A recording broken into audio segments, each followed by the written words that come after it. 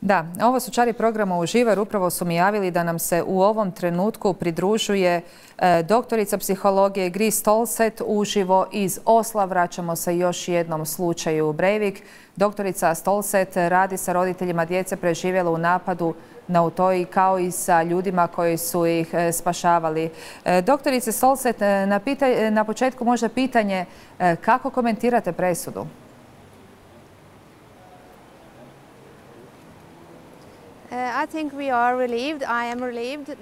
Mislim da smo osjetili olakšanje. Ja sam osjetila olakšanje što je ovaj čovjek proglašen odgovornim za svoje postupke. Mislim da je to vrlo bitno. Zna šta je uradio, potvrdio je svoju krivicu. Mada mislim da nije u stanju da osjeća krivicu. On kaže samo da je odgovoran za ono što je uradio.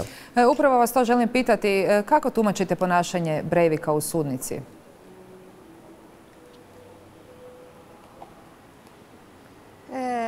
I think uh, um, the way to interpret, interpret, uh, interpret it is that... Mislim da je uh, način da se tumači njegovo uh, ponašanje, da je to... Good work is in depth. Ono što se uradilo je dobro i detaljno urađeno. Mislim da je ipak ovo najlogičnija odluka koju je trebalo donijeti. Sud je postupak um, vodio uh, dostojanstveno. Ja lično nisam iznenađena, ali je postojala neka ideja da će neki drugačiji rezultat biti. On se ne posmatra kao zdrava, već kao bolesna osoba, ali ne bolesna u smislu da nije odgovoran za svoje postupke. To je zapravo vrlo bitna razlika. On jeste lud u određenom smislu, ali ne lud u smislu da nije odgovoran za ono što je uradio. To opet ima veze sa njegovim ekstremnim političkim stavovima.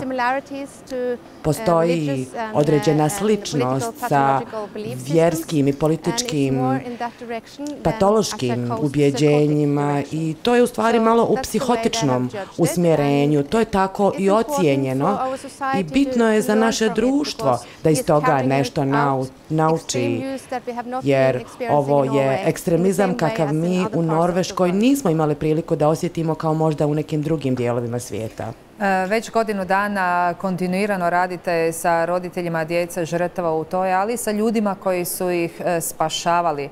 E, s kakvim se psihološkim stanjima i posljedicama oni suočavaju?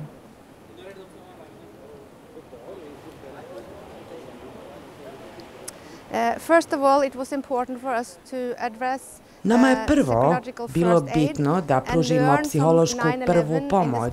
A od 11. septembra smo naučili da su i oni uradili neke uh, stvari koje su bile dobre, neke koje nisu dobre. To je značilo da ne treba odmah detaljno ispitivati osjećanja, iskustva u um, prvih nekoliko uh, sati, u prvih nekoliko dana nakon doživljene traume, zato što to zapravo dovodi do segmentacije smanjenje pamćenja i pojačava rizik od posttraumatskog stresnog poremećaja. Nakon toga je bitno raditi na pitanjima šoka, krivice, usamljenosti, a odmah nakon toga i bola koji čini se da trenutačno ljude može da uništi i da se napravi okruženje koje im daje podršku. Ja kao psiholog 20 uh, godina radim sa ljudima koji pate na razne načine, ali nikad nisam vidjela toliko bola u isto vrijeme. To zaista duboko pogađa mnoge ljude i to ekstremna bol. To što se desilo, desilo se voljnom radnjom, uh, postupkom jednog čovjeka koji je želio da uh, uradi, da nanese takvo zlo. I to iskustvo je zapravo drugačije iskustvo od recimo preživljenja doživljenog tsunamija ili neke druge katastrofe, jer vi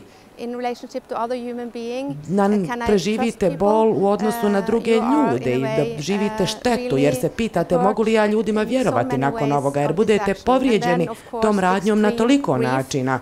I naravno, ekstremna patnja i bol, mediji su isto tako ljude uznemiravali, isto tako i sudski postupak Tako da smo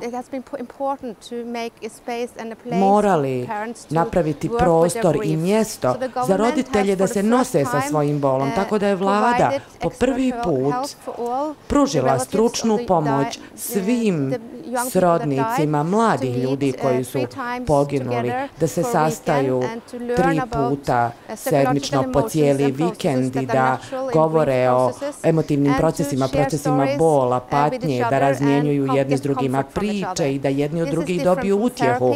Ovo je drugačije od terapije. To nije patološki tretman, već je samo pokušaj da se napravi prostor za bol u jednoj ekstremnoj situaciji.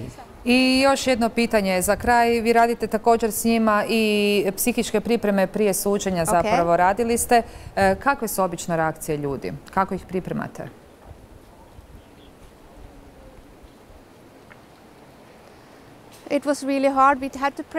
Vrlo je teško bilo. Na razne načine smo ljude morali uh, pripremati prije odlaska u sud.